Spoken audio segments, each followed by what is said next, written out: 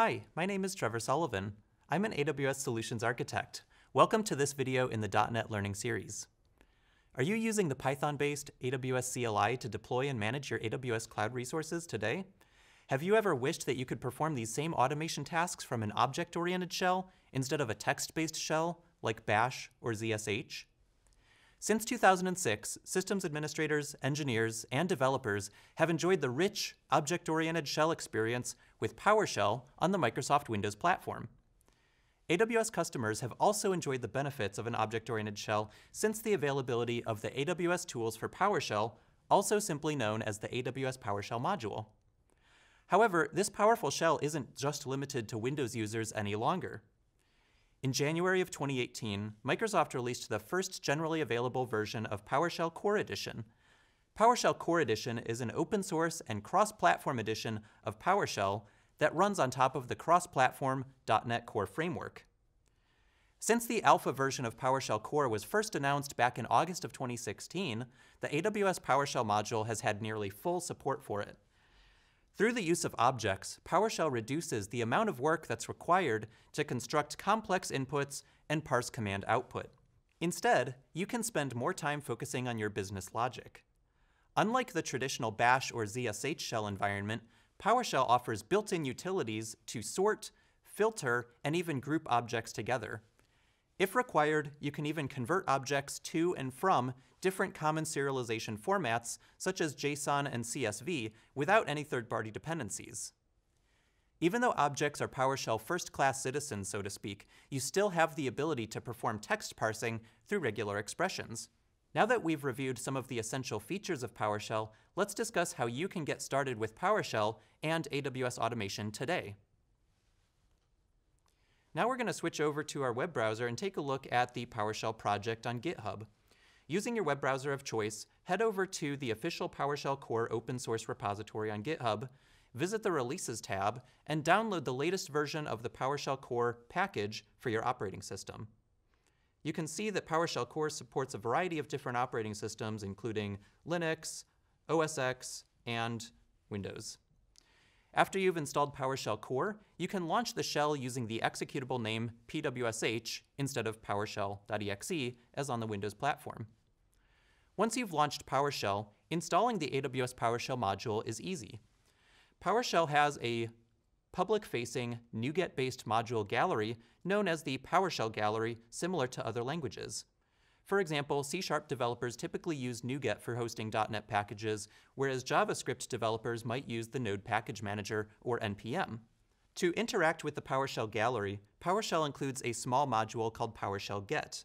This module exports an array of commands that allows you to install modules, uninstall modules, and publish new modules. To install the AWS PowerShell module, simply run this install module command. So we'll type the install module command specify the name parameter, type the module name, which is AWS PowerShell.NET Core, specify the scope parameter of current user, and that instructs PowerShell to install the module to our current user's home directory instead of the all users directory that requires sudo permissions, and we'll just hit enter. The module should only take a few moments to install from the PowerShell gallery, once it's installed, you don't have to manually import the module using the import module command, thanks to PowerShell, PowerShell's module autoloading feature. With the AWS PowerShell module installed, it's time to set up your credentials so that you can access your AWS account's resources. If you've already set up your AWS credentials file manually or have been using it with the AWS CLI, you can most likely skip this step. If you haven't already created an AWS credentials file, you can set it up using the following PowerShell command. The command name is set AWS credential, and then we'll specify a store as, which is basically a profile name that we'll use to reference this access key ID. Then we'll specify our access key, and finally, our secret key. You can generate these credentials from the Identity and Access Management service inside the AWS Management Console. Like the other SDKs, the AWS PowerShell module will automatically look for the credentials profile named default in your home directory under the .aws hidden folder. With PowerShell installed, along with the AWS PowerShell module and your credentials file configured, you're now ready to start exploring the PowerShell module and performing automation tasks against your AWS cloud resources. The AWS PowerShell module contains a helpful command called get AWS commandlet name. This command will search for PowerShell commands that invoke a specific AWS API or interact with the AWS service more generally. For example, we'll call get AWS commandlet name dash service lambda.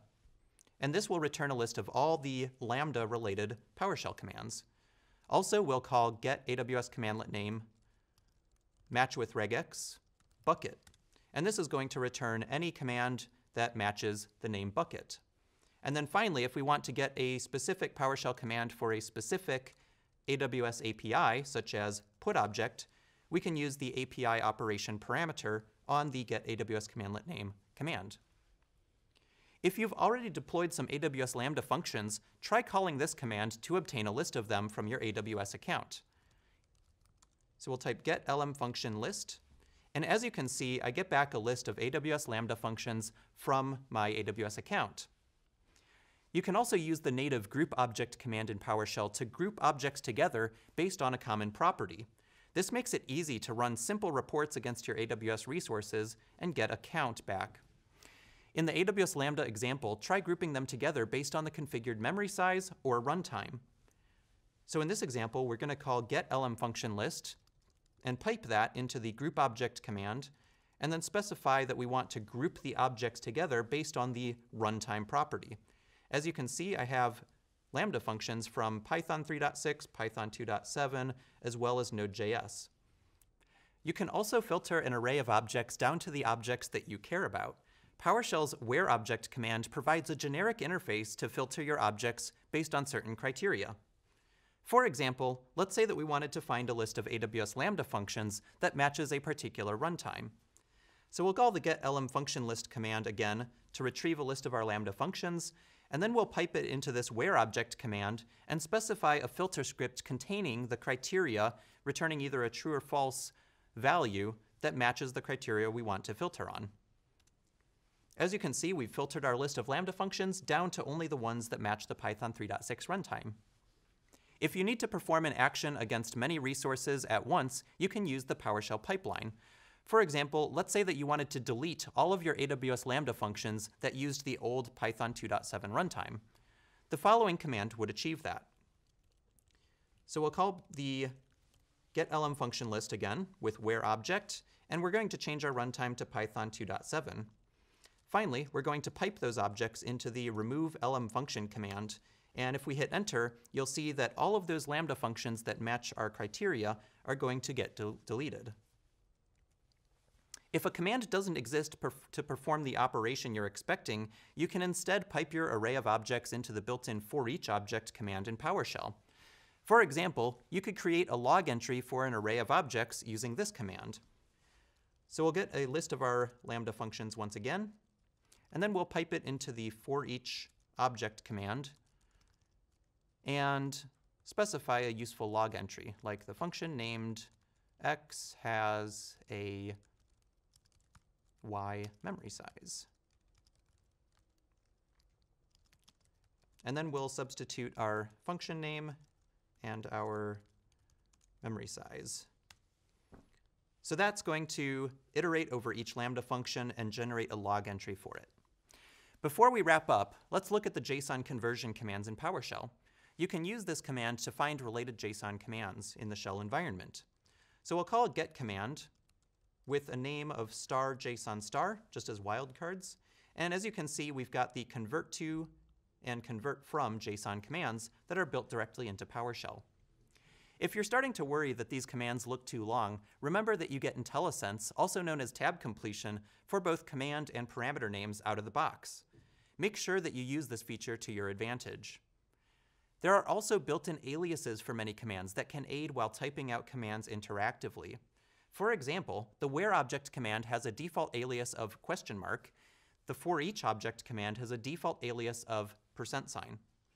One of the key advantages to PowerShell is that the language reads naturally like plain English. Although it may be different from what you're used to with other languages, I think you'll find that this is useful longer term, especially in shared code repositories. This video was a brief introduction to PowerShell that barely even scratches the surface of its depth. As you can see, PowerShell is a powerful shell for both interactive use as well as creating complex applications. I encourage you to install PowerShell and spend some time learning about its unique approach to interactive command line usage. With its powerful, easy to understand commands, data processing features, and cloud integration with AWS, I'm confident that it will help you be more productive in your work regardless of what role you hold in your organization. Thanks for watching this video in the .NET Learning Series, and look for future videos on AWS and PowerShell development.